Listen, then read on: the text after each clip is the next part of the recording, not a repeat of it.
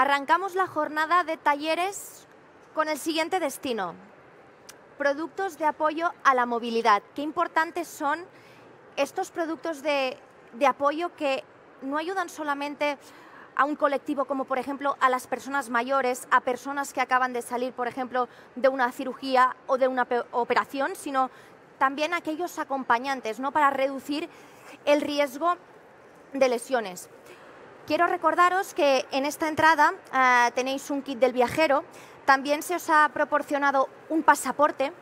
En la cara trasera del pasaporte Ágora tenéis un código QR donde vais a poder ver todos los cursos que ofrece Ágora Sanitaria. Como ya sabéis, Ágora Sanitaria es el portal online de formación continuada del Colegio Oficial de Farmacéuticos de Madrid y de Barcelona. Se ofrecen muchísimos cursos con información ah, actualizada para el grupo de gente que se dedica, como vosotros, a, la salud y en concreto también pues, a lo que hoy nos ocupa, que es el campo farmacéutico.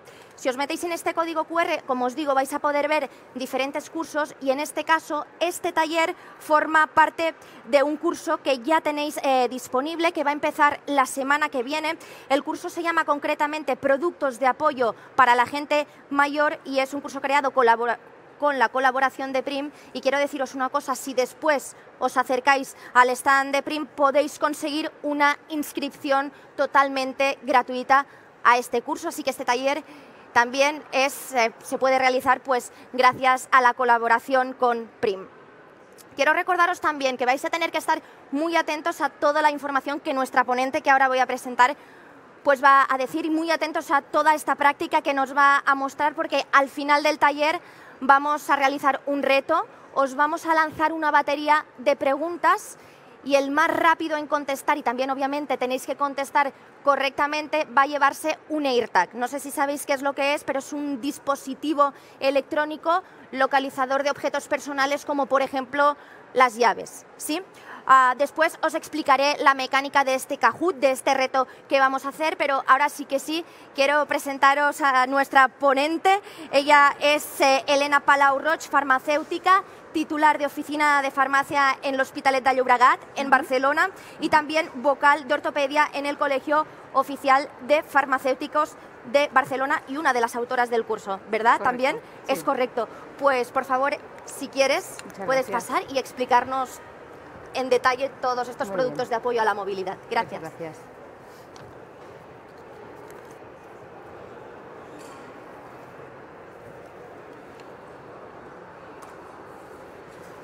Bueno, pues eh, buenos días, eh, bienvenidos a este taller de productos de apoyo y movilidad. Eh, tocaremos hoy cinco puntos. Por un lado sería lo que es la definición de producto de apoyo, también el papel de la farmacia en cuanto a la recomendación de productos de apoyo, eh, selección de producto, tanto del surtido que podemos tener en la farmacia como cómo seleccionar el mejor producto para el usuario. Después eh, hablaremos categoría por categoría de dentro de los productos de apoyo, las más importantes, como es movilidad, higiene, sueño y descanso y vida cotidiana para finalmente acabar con dos casos prácticos en el cual, como ha comentado Andrea, eh, se va a hacer un Kahoot para que podáis eh, poner eh, las respuestas adecuadas y ganaros un premio. Em, ¿Cuál es el papel de la farmacia? cada farmacia debe hacer una selección de las ayudas en función del enfoque que quiera dar a su sección de ortopedia en la farmacia. Eh, y tener en cuenta aquellos que sean de utilidad para las patologías más frecuentes en su farmacia. Yo dividiría en dos, eh, grupos eh, principales. Aquellos usuarios que tengan unas necesidades puntuales de aquellos usuarios que ya por mm, la cronicidad de su enfermedad, por la edad avanzada, ya requieren productos, digamos, de forma constante. Em, en cuanto a usuarios con necesidades puntuales, nos podemos encontrar, por ejemplo, eh, después de una postcirugía. Em, eh, eh, por ejemplo, si vuestra farmacia está al lado de un hospital, pues por ejemplo os conviene tener un surtido de estos productos porque es, bastante habitual que un, usuario al salir del hospital pues vaya a, esta, a vuestra farmacia y compre este tipo de productos. Si, por ejemplo, estáis al lado de un gimnasio, de un polideportivo, pues también os conviene tener un sortido de productos eh, relacionados con el deporte. Eh, pues si hay pistas de pádel cerca, pues eh, tenéis números de que os vengan a comprar productos después de una lesión. También otro usuario que podéis tener sería el profesional que por su trabajo pues, tiene, hace carga y descarga o eh, cuidadores de gente mayor, pues también pueden ser usuarios que pueden tener eh, necesidades en cuanto a estos productos.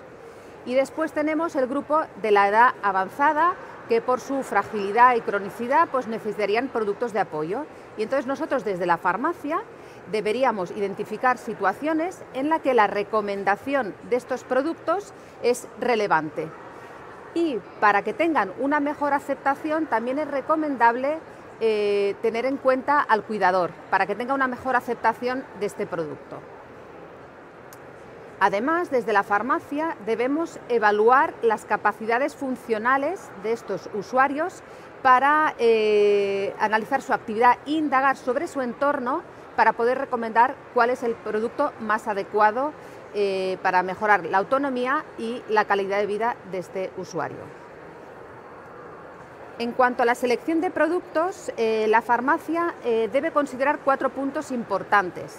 Por un lado sería la seguridad, la adaptabilidad, la higiene y la resistencia. estos cuatro puntos son importantes a nivel de la seguridad, pues que sea un producto fácil de usar, que no, sea, que no tenga complicaciones para el usuario. Eh, también debe ser adaptable a su entorno, que no le implique eh, unas limitaciones adicionales. Debe ser un producto que sea fácil de limpiar, que tenga una superficie fácil de limpiar y además que sea resistente a los productos eh, que usamos o a la humedad. Y finalmente debe ser un producto resistente en cuanto al uso regular que se le da a este producto de apoyo. Si pasamos ya a las diferentes categorías que habíamos comentado, que había movilidad, eh, higiene, sueño y descanso y vida cotidiana, en cuanto a la movilidad nos encontraríamos en dos situaciones. Eh, por un lado tenemos eh, la deambulación, es que es cuando, según la base de sustentación del producto, se utilizan productos de apoyo eh, cuando hay un ligero problema de, equilibrio, de coordinación o de marcha, pues usaríamos una muleta, un bastón o un andador. Y cuando la persona ya tiene una incapacidad mayor, usaríamos lo que es la silla de ruedas y hablaríamos de sedestación. Entonces, en cuanto a deambulación, eh, encontramos diferentes productos y valoraremos el nivel de autonomía del usuario, del hogar y del eh, y del entorno. Porque es una persona que va a salir a, la calle, entonces también hay que valorar cómo sería el entorno. En cuanto al usuario, ¿qué debemos conocer? Pues debemos indagar al, usuario o al, o al, cuidador, pues si esta persona sufre de caídas, eh, qué distancias recorre en su día a día, si son distancias cortas o si bien eh, pues hace unas distancias pues al supermercado, a la farmacia o al centro ambulatorio. Eh, o, si se va de compras, si va solo o acompañado, también es importante saber. Eh, si sufre de enfermedades eh, neurológicas, si sufre de hemiplegia o si tiene alguna, algún tipo mm, de enfermedad neurológica que le pueda afectar el patrón de la marcha y si vive solo o acompañado. En cuanto al hogar, nos convendría saber también qué tipo de suelo tienen, eh, si hay desniveles o si hay escalones en su casa y también el ancho de lo que son las puertas y los pasillos en, el, hogar. Y también, en cuanto al entorno, pues conocer si viven una, eh, hay cuestas empinadas en, la calle o si hay escaleras o eh, las distancias que tiene que recorrer para acudir al centro médico o a la farmacia. En cuanto a las personas que están, em, perdón, En cuanto a, estos productos de apoyo para la deambulación, como os enseñaré después, es conveniente, ajustarlo a, la persona. Es decir, eh, según la descarga de peso corporal que necesite, recomendaríamos eh, una muleta, un bastón inglés o un andador. Cuando necesitan menos eh, descarga del peso corporal, pues se usaría una muleta. Cuando necesita más descarga, pasaríamos al bastón inglés, en el cual ya apoyan el antebrazo. Si necesita más todavía, pues pasaríamos al andador rollator, que es el que tiene las cuatro ruedas, pues, eh, dos delanteras y posteriores también. Y cuando ya por la falta de equilibrio o, de la marcha eh, lo requiera, pues pasaríamos a un andador con ruedas delanteras y tacos posteriores, que es el que más permite la descarga del peso corporal. Lo digo porque a veces sí que es verdad que nos encontramos que a lo mejor para salir al exterior eh, nos piden un andador rollator y podría ser que eh, esta persona, pues el, médico considerara que necesita tacos posteriores y entonces esto, pues en cuanto a receta, también hay que tenerlo en cuenta. Em, todos estos productos, necesitan de ajuste eh, al usuario. Hay que poner el, usuario en posición erguida y si es una muleta o bastón inglés, pues entonces lo que haremos es que eh, en la posición de descanso eh, ajustaremos la altura a que la muñeca esté en posición de descanso. Más o menos es la altura del trocánter mayor. Y en cambio, cuando es un andador, como lo llevamos eh, más adelantado, entonces sería un poco más elevado por la posición de los brazos que están en diagonal, entonces lavamos la posición del andador. En cuanto a la marcha, eh, lo que sería la muleta y el bastón inglés, hay que tener en cuenta que siempre se usará en el brazo contrario al de la lesión. Si la lesión es en la pierna izquierda, llevaremos el dispositivo en, la mano contralateral al de la lesión y entonces avanzaríamos con el pie izquierdo y el bastón en la mano derecha, luego el pie derecho y haríamos haciendo así. Si pasamos a cuando las personas ya están inhabilitadas para llevar por sí mismas el producto de apoyo, ya pasaríamos a la sedestación, es decir, que necesitan una silla de ruedas que sería la prolongación de, sus piernas. ¿eh? Entonces, en este caso también precisa de ajuste y de hecho eh, lo que haremos es que hay que tener en cuenta la altura, la profundidad y el ancho, tanto de lo que sería el asiento, el ancho y profundidad del asiento, también deberíamos eh, ajustar la altura para que quede a la altura del hueco popliteo, detrás de la rodilla, para que queden en ángulos de 90 grados y eh, es muy importante o es conveniente que tengan el reposabrazos también regulable en altura, porque al final esto lo que hacen, ellos apoyan sus, brazos en, el reposabrazos y esto hace que la, puedan tener una mejor postura a nivel de articulación de, espalda y de, y de hombro. Entonces conviene regular la altura del reposabrazos y también eh, sería ideal que el, reposabrazos fuera abatible hacia atrás para facilitar las transferencias. En cuanto al cojín, es muy importante el uso de un cojín viscoelástico, porque al final el cojín lo que permite es eh, desplazar las presiones donde hay mayor presión, es decir, isquion sacro y tocánter, a eh, em, reducir las presiones en estas zonas. Y además el cojín les permite una mejor postura corporal para evitar la rotación de la pelvis y que eh, se deslicen hacia adelante.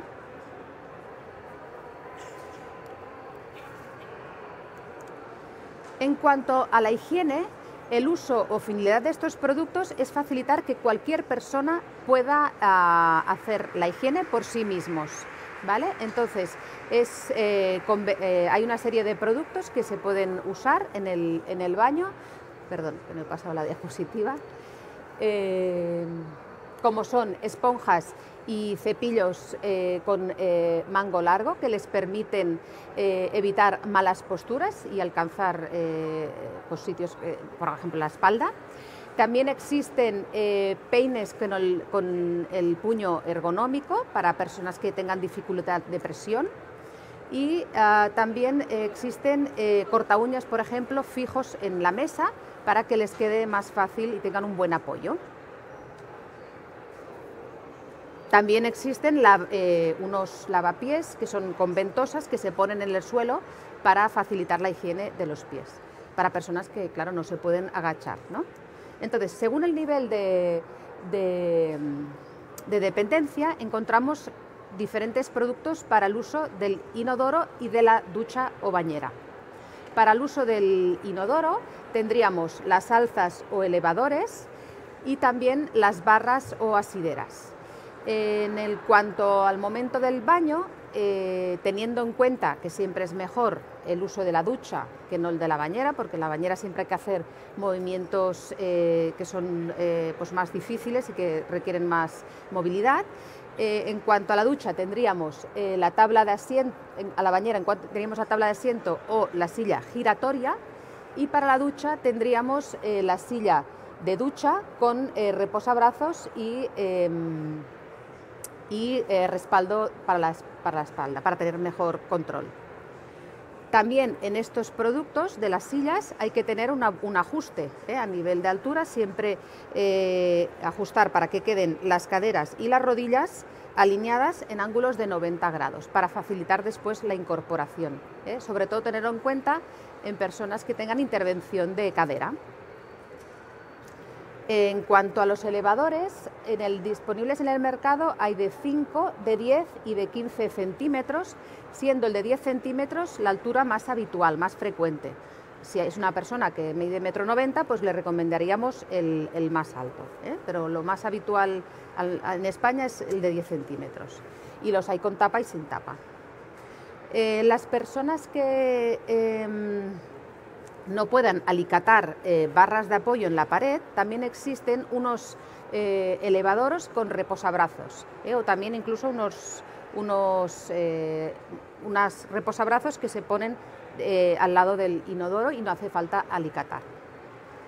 Entonces, para, para escoger el mejor producto, tendremos que tener en cuenta también valorar el usuario y valorar el hogar.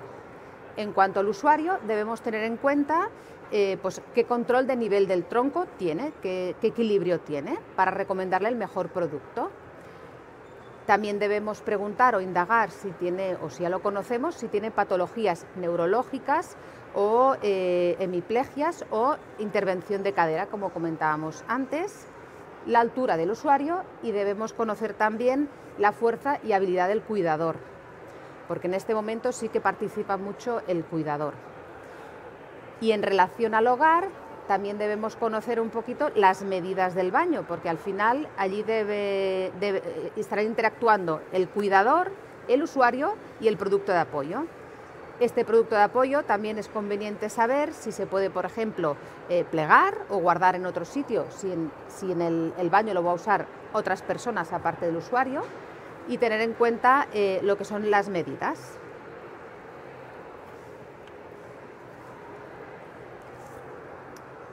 En cuanto al sueño y el descanso, bueno, todos sabemos que un buen... Se me sale esto un buen eh, descanso facilitará que las personas estén más activas y que eh, refuercen su atención y contribuyan a mantener un buen tono muscular y un buen estado de ánimo. Eh, para ello, siempre debemos recomendar que tengan unos horarios regulares, que no hagan comilonas antes de irse a dormir y que no hagan siestas muy largas. Esto ya como recomendaciones como farmacéuticos. Pero para personas que están encamadas o que están sentadas durante mucho tiempo, hay una serie de eh, productos de apoyo que les podemos recomendar para precisamente disminuir las presiones en ciertas eh, zonas que pueden producir las escaras, eh, las úlceras en estas zonas. Y para ello existe una serie de productos como son eh, los, cojines viscolásticos, aquí tenemos en el caso de la silla, pero tendríamos también eh, colchones eh, viscolásticos, también tendríamos talones, taloneras y patucos, que tenemos una allí que veremos después, y, perdón, tablillas coderas antiescaras y reposapiés, ¿eh? para facilitar, eh, eh, evitar la aparición de escaras en estas zonas de mayor presión.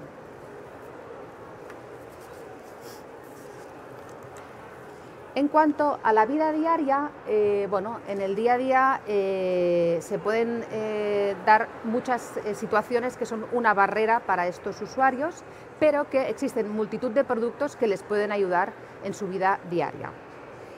por un lado, tendríamos productos que les ayudan a la hora del momento de vestirse, como pueden ser pues los abrochabotones para personas, por ejemplo, que tengan hemiplegia, pues les puede servir que con una mano se puedan abrochar el botón también existen los calzadores de medias y de calcetines o los calzadores de mango largo para ponerse los zapatos.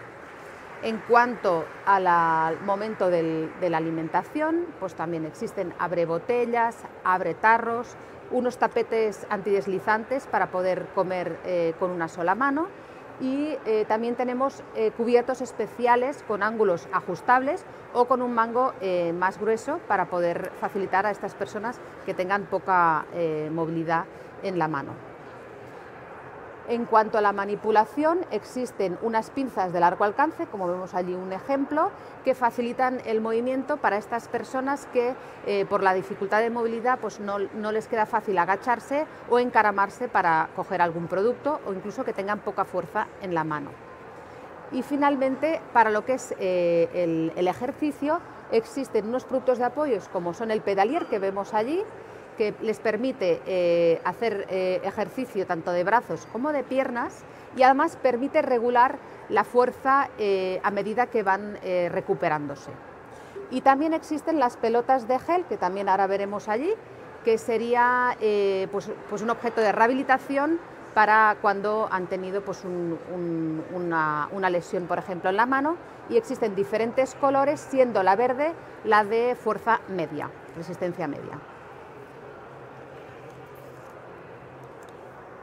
Y bueno, finalmente, claro, como farmacéuticos, eh, la ayuda a la medicación. ¿eh? Desde la farmacia podemos recomendar multitud de productos de apoyo relacionados con la medicación, como son los pastilleros, eh, los partidores o los trituradores. Y después, evidentemente, recomendar el servicio de sistema personalizado de dosificación de medicamentos, que es una herramienta de atención farmacéutica eh, para mejorar el cumplimiento farmacoterapéutico y evitar el error, el olvido de las tomas y facilitar la administración de los medicamentos de nuestros usuarios. Eh, bueno, he ido comentando todos los productos. Este sería el, el, cojín viscoelástico, que este pues lo pondríamos en lo que serían las sillas de rueda, como comentaba, porque una silla de ruedas es muy importante para estas personas, pero si van a estar sentadas eh, en lo que es como una silla de camping, ¿verdad que en casa no se sientan en una silla de camping, no se sientan en una butaca, algo cómodo? Pues aquí igual es súper importante el uso del cojín viscoelástico en la silla de ruedas. ¿eh? Este tendríamos, pues, eh, bueno, tiene una forma además anatómica, ¿eh? que, fácil, que sería pues, para poner entre las piernas y facilita la correcta postura corporal y evita eh, que se deslicen. Evidentemente, si la persona tiene eh, muy poco control postural, a lo mejor se podría añadir también un cinturón, pero si no, siempre es mejor que por ellos mismos se puedan tener la mejor correcta postura y esto lo permite. Después aquí tendríamos un ejemplo de un andador, por ejemplo, este sería el andador rollator, que es el que tiene las cuatro ruedas. En este caso, este es un modelo eh, más estrecho, como vemos, para, bueno, pues por ejemplo, o personas que están muy delgadas no necesitan que sea más ancho, o también para personas que, eh, pues para que sea más fácil eh, para pasar en, pasillos estrechos o puertas estrechas. Entonces, este sería un ejemplo. Aquí habría, como hemos dicho antes, que ajustar la altura eh, para que quede eh, pues una posición cómoda, ¿vale? En este caso, pues mira, pues mm, yo como soy bajita, pues esta altura me podría ir bien, ¿eh? que no se queden encorvados hacia adelante, que estén en una buena postura corporal anatómica, al final sería esto. Aquí tendríamos pues el ejemplo del bastón inglés. El bastón inglés, como hemos dicho, pues bueno, es muy usado cuando tienen lesiones de forma coyuntural por un accidente. ¿eh? En este caso habría que ajustar lo que es la altura para que les quede la altura de la empuñadura en posición en reposo, ¿vale? Y eh, más o menos a la altura de lo que sería el trocánter mayor, que es el hueso que nos sale aquí a la cadera, ¿vale? Si llevan uno o si llevan dos. Si llevan uno, importante que lo pongan en la mano contralateral al de la lesión. Como hemos dicho, si la lesión está en la izquierda, pues entonces cuando avance la pierna izquierda, apoyará el brazo derecho para que la presión del cuerpo, para el peso del cuerpo, se, vaya, se desplace hacia la derecha y no eh, lo pongan en el pie izquierdo. Después avanzar el pie derecho y así. Muy bien. Aquí pasaríamos ya a lo que es eh, eh, la higiene. Aquí tenemos un ejemplo de una silla de ducha que tiene el respaldo y el reposabrazos para ayudarse a, incorporarse.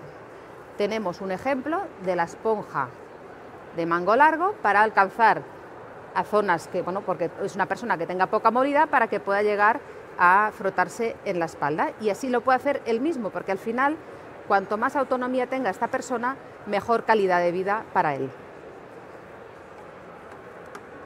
Aquí tendríamos el ejemplo del, elevador, del alza, este, en este caso tiene, una, tiene tapa, ¿vale? Muchas veces lo prefieren así porque ya quitan lo que es la tapa de su inodoro de casa y ya incorporan este. Este sería eh, el de medida universal, se adapta a cualquier baño y entonces hemos dicho que hay la altura de 5, de 10 o de 15 centímetros, siendo el de 10 el más habitual. En cuanto... Bueno, este sería un ejemplo, claro, hoy no podíamos traer aquí un colchón, era muy complicado, pero tenemos el ejemplo de lo que es la talonera eh, para, cuando, para evitar eh, escaras. ¿eh? Aquí pondríamos el pie del, usuario y esto facilita que no se produzcan úlceras por presión en lo que es el talón. Y en cuanto a las ayudas a la, vida diaria, aquí tendríamos un pone medias, ¿vale? Em, que les facilita a la persona frágil ponerse eh, lo que es el calcetín. Aquí tendríamos una pinza de largo alcance, pues para alcanzar eh, productos que eh, este no lo conozco tanto, pero me imagino que es, bueno, apretando aquí, ah, mira, aquí tiene la, Ahora, ya está, que tenía el de seguridad. Hacemos así y alcanzamos productos a los cuales no llegamos para que no tengan que ni agacharse ni encaramarse arriba. ¿eh? Y finalmente, como decíamos, para la rehabilitación tendríamos lo que es la pelota ejercitadora de mano, que es una pelota de gel que además hay diferente gradación de colores, con lo cual pueden empezar eh, con eh, menos fuerza e ir aumentando a medida que recuperan la, habilidad de la mano y aquí teníamos el pedalier para ejercitar las piernas y los brazos y podemos regular tanto en cuanto a piernas como a brazos la eh, fuerza con la que ejercen la, la presión, la resistencia. ¿De acuerdo? Pues hemos hecho un breve repaso de los productos de apoyo y ahora pasaremos al caso práctico, los dos casos prácticos. Muchísimas gracias, Elena, por toda esta explicación. Ha sido muy completa y espero que todo el mundo haya prestado atención, porque como bien dices, ahora vamos a pasar al caso práctico. Yo no sé si alguno de nuestros asistentes, creo que es muy interesante todo lo que ha explicado Elena, tiene alguna pregunta específica para que podamos pues, ampliar toda esta información. ¿Algún interesado o interesada en preguntar? ¿No? vergonzosos. Bien, pues si no, sí que pasaremos a ese caso práctico. Quiero recordar que ahora os vamos a lanzar una batería de, preguntas. Elena, ¿nos vas a exponer dos casos prácticos? Sí. De acuerdo, Elena nos va a exponer dos casos prácticos en base a todo esto que nos ha explicado y posteriormente a través de un Kahoot os vamos a lanzar una batería de preguntas. El que conteste más rápido y también correctamente se va a llevar un AirTag, que para quien no lo sepa, os lo explico, es este dispositivo electrónico y es un localizador para objetos personales, como por ejemplo las llaves, así que los olvidadizos y olvidadizas, bueno, este regalo va a ser perfecto para vosotros. Ah, quiero recordaros también eh, que aquí detrás vosotros tenéis aquí un pasaporte Ágora, si os está, este es, vuestra tarjeta de embarque para entrar a todos los talleres. Si ya hicisteis ayer algunos talleres con nosotros, ahora mismo en el Kahoot que vamos a hacer vais a tener que utilizar el mismo nombre de usuario. Es muy importante porque en el Kahoot hay como una, una, bolsa donde se van añadiendo eh, los puntos que vais recibiendo cuando contestáis a todas las preguntas. ¿De acuerdo? Entonces, si te parece, Elena, Lanzamos estos dos casos prácticos Correcto. y después de estos dos casos prácticos ya ah, lanzamos todas las preguntas y se hace el Kahoot. Vale. Bueno, no, yo creo que leo el primer caso práctico y hacemos las preguntas, si no estoy mal. Perfecto. Relacionadas. Perfecto. Vale. Eh, bueno, en el primer caso tenemos una persona de 35 años que es convaleciente, ha resultado una fractura, eh, de una fractura quirúrgica por fractura de tobillo. Bueno, lo tengo ahí. Espera, me cojo esto para no tener que girarme. Toma. Merci. No, el, este, perdona. ¿Me pongo yo ahí? bueno, es igual, sí. Eh, llega a la farmacia un familiar de un cliente del, barrio que acaba de salir del hospital convaleciente de una fractura del tobillo que va enyesado y que eh, bueno, pues, eh, le, dan un pronóstico de dos meses de baja. sabemos que el yeso le limita la movilidad, y le preguntamos dónde vive y nos dice que en una casa de unos 30 años, que es moderna, que tiene dos plantas, que él vive arriba en el, bueno, duerme, perdón, arriba en, en, la, habitación, en el piso de arriba y nos dice que no hay ascensor, las puertas sí que son suficientemente anchas y también nos comenta que para entrar en la casa tiene dos escalones. Pesa 80 kilos, es deportista, tiene un ancho de trocánteres de 40 centímetros y su nivel económico es correcto. También nos comenta que debe viajar en avión para asistir a una boda de un familiar en tres semanas. Entonces, lanzamos las preguntas. Vamos a por ese primer Kahoot, ¿de acuerdo? Yo os voy a explicar cómo funciona la dinámica. Escaneáis este, este código QR que veis en pantalla. Si alguien tiene algún problema y no puede entrar a través del código QR, puede entrar a través de la página web www.kahoot.it y tiene que añadir este código, este pin que veis, es el código de juego, ¿de acuerdo? Una vez estáis dentro tenéis que añadir vuestro nombre de usuario. Si ya habéis participado anteriormente con nosotros, que sea el mismo nombre exactamente. Y si no, si es la primera vez que participáis, ponéis un nickname y si venís a posteriores talleres va a tener que ser el mismo. Es decir, siempre el mismo nombre. ¿Por qué? Porque aparte del AirTag que vamos a sortear, se va a sortear en el último taller de hoy, en el de vitaminas y minerales, donde os esperamos a todos, por supuesto, se van a sortear unos AirPod Max, ¿de acuerdo? A esa persona que haya obtenido más puntuación en todos los talleres de Ágora Sanitaria. ¿Sí? Entonces, va añadiéndose la gente, vamos a esperar uno o dos minutos, que nadie tenga problemas. Veo a una gente escaneando el código QR. ¿Sí? Recordamos, si quieres, Elena, el primer caso. Sí, claro. Un paciente de 35 un paciente años de 35 y ha salido de una operación de tobillo. Exacto, tiene una fractura de tobillo, eh, lleva yeso y tiene un pronóstico de dos meses de baja. Eh, sabemos que vive en una casa, que él duerme en la segunda planta, que no hay ascensor, que para acceder a la casa hay dos escalones y que las puertas de su casa hacen tienen un ancho de 70 centímetros, ¿vale? Pesa 80 kilos y es deportista, ¿vale? Pues vamos a empezar. En relación a este en caso... 3, 2, 1... La pregunta es, deportista con yeso por fractura de tobillo, ¿qué aconsejamos sobre la altura del bastón? Tenemos cuatro posibles respuestas con la empuñadura a la altura del trocánter mayor de la cadera, con la empuñadura más baja que el trocánter mayor de la cadera, como se sienta más cómodo, y con la empuñadura más alta que el trocánter mayor de la cadera. Ya hay 15 respuestas, tenemos 33 segundos más, 17 respuestas deportista con yeso por fractura de tobillo, que aconsejamos sobre la altura del bastón. 17 personas han respondido correctamente, Elena. Muy bien, perfecto. Han estado escuchando. Muy bien. Si te Eh, parece, vamos a por ese segundo caso práctico. Hay cuatro preguntas relacionadas con este caso Hay, práctico. hay cuatro preguntas, Sí. es verdad, cierto. ¿Qué consejo le daríamos sobre el uso de la silla? Entonces, debe utilizar el bastón en el mismo lado de la pierna operada. Eh, este es un error porque no va con esta pregunta. Al sentarse en la silla, el fémur debe estar a 65 grados con la columna. Debe usar una silla de rueda con rueda pequeña y mangos largos para el cuidador.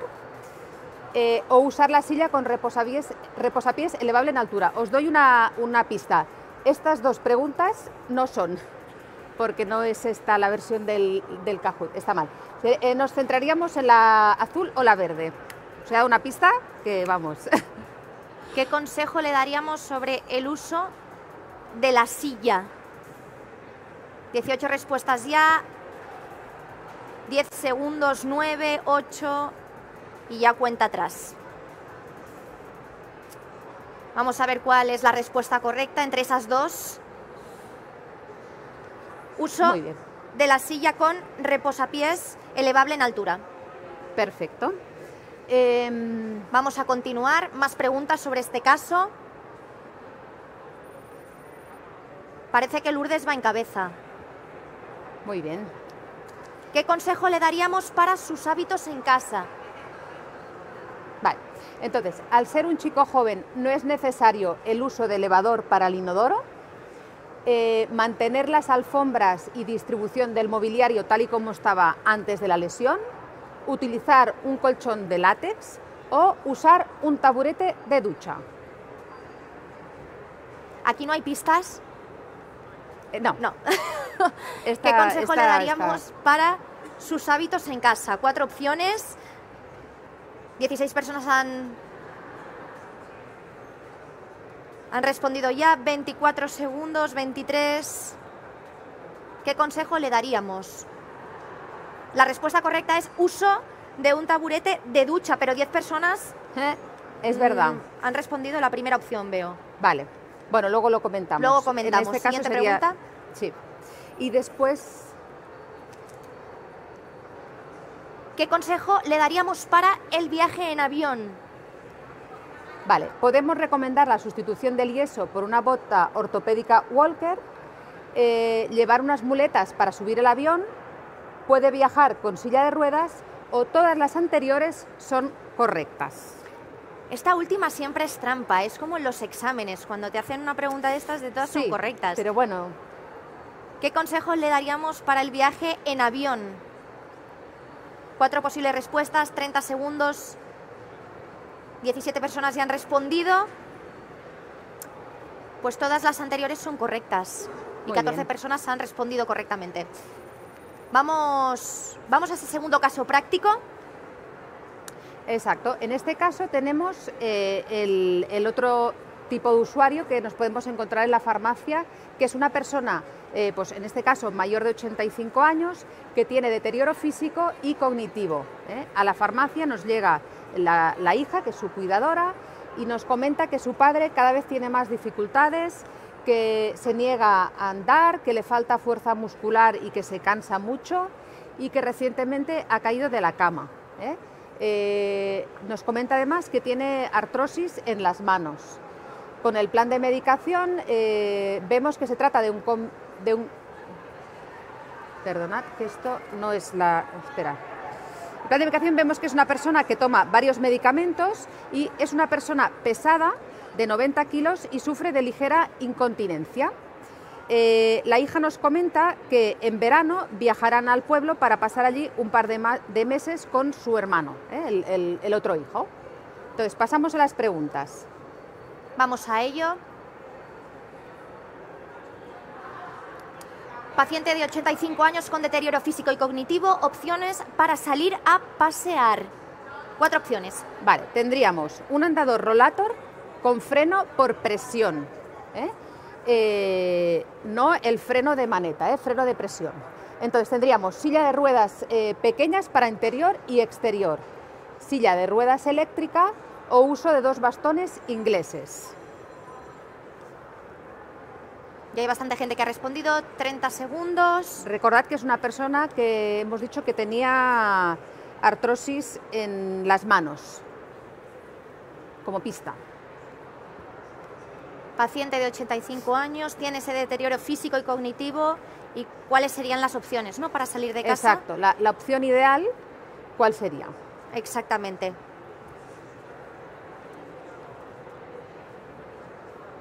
Muy bien. Andador con freno por presión.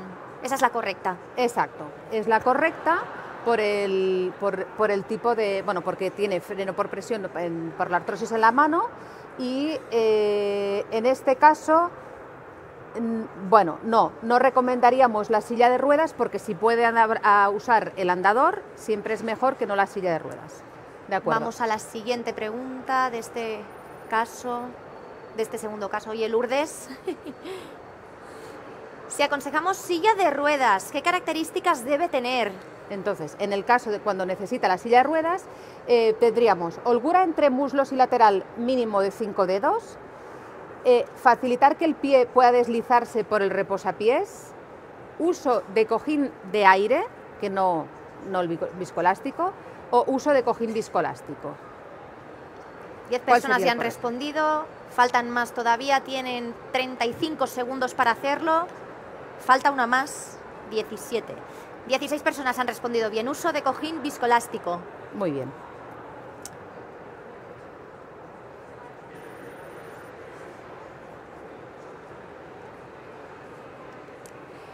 ¿Qué consejo le daríamos para sus hábitos en casa?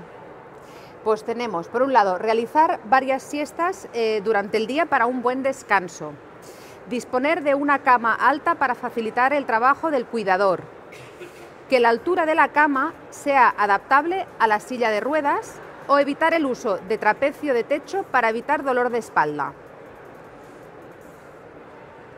La gente va respondiendo, 35 segundos, queda una persona, me parece, ya estaría. Altura de la cama adaptable a la silla de ruedas es la respuesta correcta. Ese es el consejo. Muy bien. Muy bien.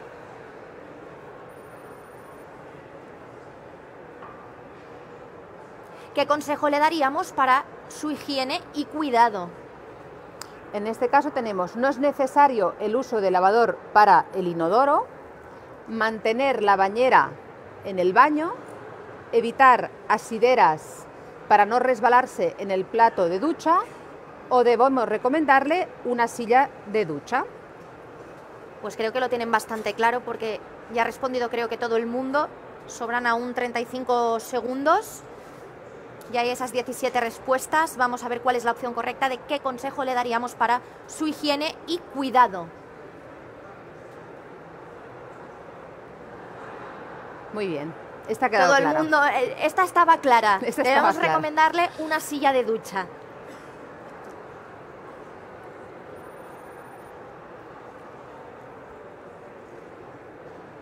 Última pregunta, ¿qué consejo le daríamos para cuando viajen a la casa del pueblo? Entonces aquí tendríamos habilitar el dormitorio en el piso de arriba sin ascensor, em, hacer la higiene en la bañera, no llevar la silla de ruedas o debemos recomendarle llevar los pastilleros para su medicación. 40 segundos, aún queda gente por responder. Una persona. ¿Qué consejo le daríamos para cuando viajen a la casa del pueblo? Muy bien. Debemos recomendarle llevar los pastilleros para su medicación.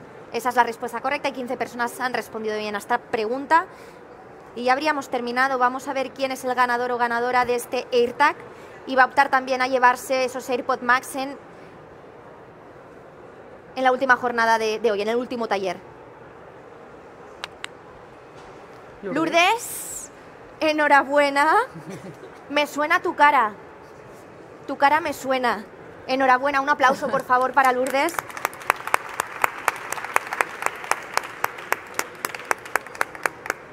Ha respondido con la mayor brevedad de tiempo. Creo que también te pregunté que si eres olvidadiza, ¿verdad? No mucho, pero tú me tienes que decir que sí. Muy bien, perfecto. Hoy, enhorabuena, gracias por participar. Te esperamos en los siguientes talleres. A todos nuestros asistentes también nos esperamos en los siguientes talleres que vamos a tener. Por cierto, ahora en nada, en 10 minutos vamos a tener conexiones con farmacéuticos del mundo. Elena, por si tú también te quieres quedar Pues y te claro quieres sí. unir pues a la labor que hacen farmacéuticos por Argentina, por Alemania, estás totalmente invita- Muchas invitada gracias. y muchísimas gracias por toda A esta ti. explicación que nos has dado y por todos los productos que nos has mostrado. Muchas de verdad, ha sido un placer. Venga. Ha sido un Hasta placer. Yo quiero recordaros que aquí en vuestra tarjeta de embarque, yo creo que os están sellando ya todos en la entrada, ¿verdad? Los talleres a los que estáis eh, viniendo, tenéis en la última página las bases y condiciones para el premio final, que son estos AirPod Max que vamos a sortear en el último taller, en el taller de vitaminas y minerales.